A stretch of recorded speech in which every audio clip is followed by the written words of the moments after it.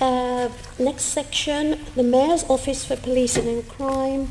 And we have, yes, um, a member from the Green Group asking a question. Thank you. Uh, um, I only have a few minutes to ask questions, so I'm actually going to focus on um, your announcement recently um, in your draft budget of a new £15 million fund, um, which you've said today is to boost police activity targeting night, knife crime. Can you outline for us what that £15 million is going to go on in terms of police activity? Sure. So, so the actual uh, how the money is spent is a matter for the Commissioner in relation to operational issues let me give you some examples of, of, of where I could see it being spent. So you'll be aware uh, we began uh, monthly operations, operations Sceptre, uh, 80 officers going into high knife crime areas, doing knife sweeps, uh, doing uh, spot checks on retailers, doing other work in relation to trying to uh, deter uh, young people carrying knives and those that are uh, arrested, charged and uh, prosecuted. So, for example, the Commissioner may decide to increase the frequency of Operation uh, Sceptre being uh, one example. And there are other examples uh, that, that we have in relation to the work that the, uh, the Met could be doing in this uh, area to tackle uh, knife crime, which I just, which, so for example, um, deploying officers, central specialist, special operation rooms, um, small number of dedicated officers doing work around here. So that's an issue for the Commissioner. These are some examples they've given me they could be using uh, going forward.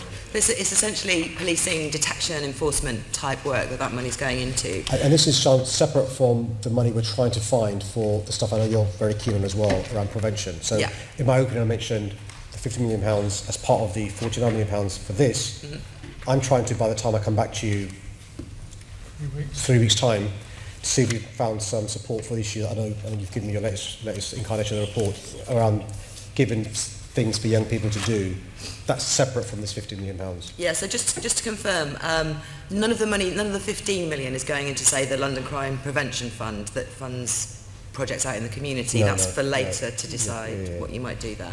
Um, I mean that's that's really good um, actually, and I'm really although I don't know where this comes in the sections, but the bit of your um, background statement, section 6.10, where you talk about the potential 20 million pounds in council tax surplus you specifically ask for suggestions um, from the GLA, and that's us, I think, um, to um, explore further options for supporting projects assisting young people. I mean, this is something I've been working on for some time.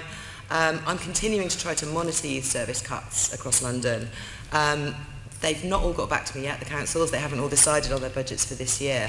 But the 13 that have, there's already a further £1 million coming out of their youth service budgets for 2018-19. So this hole that we've identified just grows and grows. So the more that we can put money out into the community for, for real prevention work, I think it's good. And I think it's good that you've got 20 million pounds potentially to spend. Um, you're not putting it on a big shiny thing with your name on it. You're putting it out there into the community. I think that's really um, can, can on, on that? Uh, uh, uh just a minute, Mayor. Um, how is that relevant to policing? Are you talking about youth project relating to policing and crime? And yeah, if you can, can you just say that? It is the 20 million pounds. Um, I just want you to make the link to policing and crime. This is this is real prevention work, the kind of thing I've been talking about, trying to put more police money into.